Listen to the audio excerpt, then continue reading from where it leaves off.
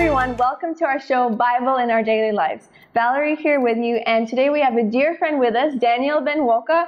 We're very pleased to have you. How are you doing? I'm fine, thank you. It's a pleasure to be here with you. It's really good to have you. Thank you. And Daniel, the first question I would like to ask you today in our interview is How often do you read your Bible? Well, I read my Bible at least once a day or sometimes at least twice a day. I try to do the morning and the evening reading. Yeah. Wow, that's really incredible. All right, and then I love that answer, but then are there times when you find it difficult to read your Bible?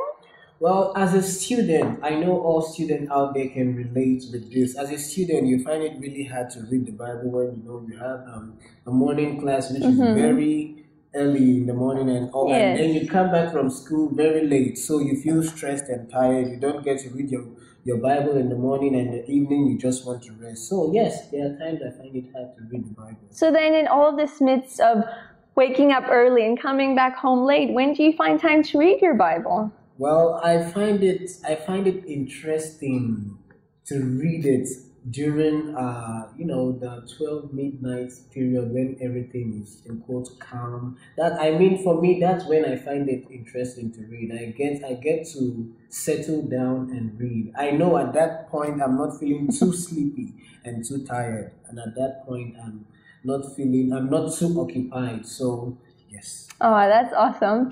Well, okay, then another question. And how does reading the Bible impact your life? Do you see any differences when you read and when you don't read it? Well, yes, like what athlete said, he knows he knows when he practices and he's doing well, and he knows when he's not practicing and he's not doing doing well. Yes, when I read the Bible, I see that I have things to give people. I when I talk to people, I know what I am feeling and how I am giving to them. But when I don't read the Bible for maybe two days or so, when I talk to people, it's like I have nothing to give to them. Yes, Even if I am talking to them in a way that to them is encouraging, but to me, I know that I am not doing as much as I ought. So yes, Yes, so definitely, conclusion here reading is what has a lot of impact, I would say. it, it does have a lot. All right, and then um, would you have any tips to share with us on how to better and encourage us in reading our Bibles daily? Yes. Well, one good thing that can help us is making reading the Bible uh, a daily lifestyle. Well, yeah, a lot of you must have heard this before, and you're like, yeah, how do I do this? well, how do you do it?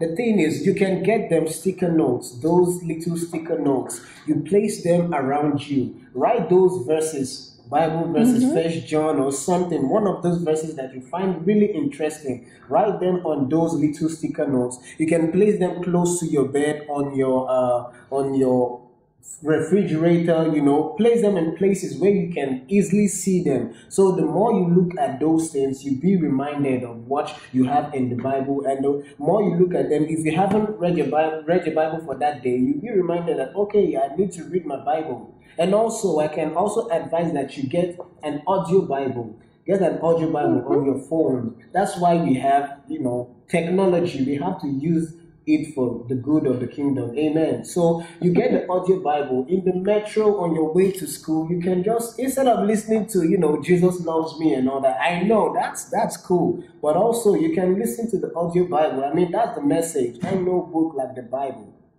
All right, so thank you so much for sharing all these great tips with us. I will surely get some notes for myself tomorrow. You should, you all right, and is there any final word you would like to share with our viewers for this week?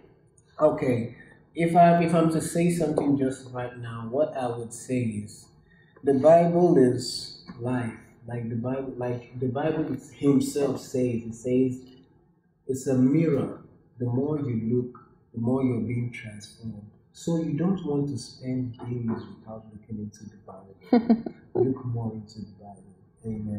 Amen. Well, thank you, brother. And I love this example of really the Bible is a mirror that we need to look into. And I just want to encourage you, I see, even if you're not following right now the plan, try sticking to it and just dig into this word because it is beautiful and let's be transformed and become more beautiful just as the scripture is. So God bless you all. Stay tuned for our next video and we'll see you soon and love you all.